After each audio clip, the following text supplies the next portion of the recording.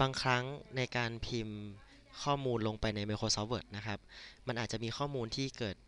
การพิมพ์ซ้ำๆซ้ำๆนะครับ เราอาจจะไม่อยากจะต้องการที่จะพิมพ์ซ้ำๆนะครับ เราก็จะใช้เมนูนะครับ ก็คือการ Copy ข้อมูลนะครับ ซึ่งวิธีการ Copy นั้นเนี่ยก็ทำไม่ได้ยากเลยนะครับ เพียงแค่เราต้องการ Copy ตัวไหน ให้เราระบายลงไปที่ตัวนั้นนะครับ ตัวอย่างผมจะ Copy คำว่าอาจารย์ นะครับ วิธีการ Copy ก็คือว่าให้เราระบายตัว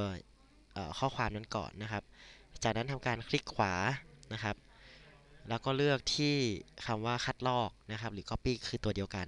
นะครับ แค่นี้ก็เป็นการคัดลอกนะครับ หรือว่า Copy ข้อความของอาจารย์ไปแล้วนะครับ ถ้าเกิดเราต้องการที่จะเอาข้อความนั้นเนี่ยไปวางไว้ที่ไหนก็ตามนะครับ ให้เราเอาเคอร์เซอร์ไปวางหน้าตำแหน่งที่เราต้องการก่อนนะครับ จากนั้นให้เราทำการคลิกขวา นะครับ แล้วก็เลือกที่วางนะครับ แค่นี้นะครับข้อความอาจารย์นะครับ ก็จะมาปรากฏอยู่ในตำแหน่งที่เราต้องการนั้นนะครับ หรือว่านะครับถ้าเกิดเราไม่อยากใช้เมนูต่างๆ ให้เกิดความยุ่งยากซับซ้อนนะครับ เราก็ต้องมีเมนูลัดให้ใช้งานนะครับ ซึ่งเมนูลัดตรงนี้นะครับ ในการ Copy เนี่ย เราจะต้องระบายเหมือนเดิมก่อนนะครับ จากนั้นก็กดที่ Ctrl C นะครับ ก็จะเป็นการ Copy ข้อความคำว่าอาจารย์ นะครับ Ctrl C นะครับ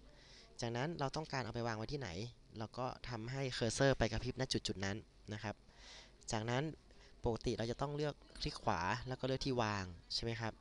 จากนี้เนี่ยเรามีเมนูลัดอีกเมนูหนึ่งก็คือการเพจนะครับ หรือการวางนั่นเองนะครับ ก็คือ Ctrl V นะครับแค่นี้นะครับข้อความของเรานะครับก็จะถูกวางในตำแหน่งที่เราต้องการ โดยที่เราไม่จำเป็นต้องพิมพ์ใหม่ให้เสียเวลา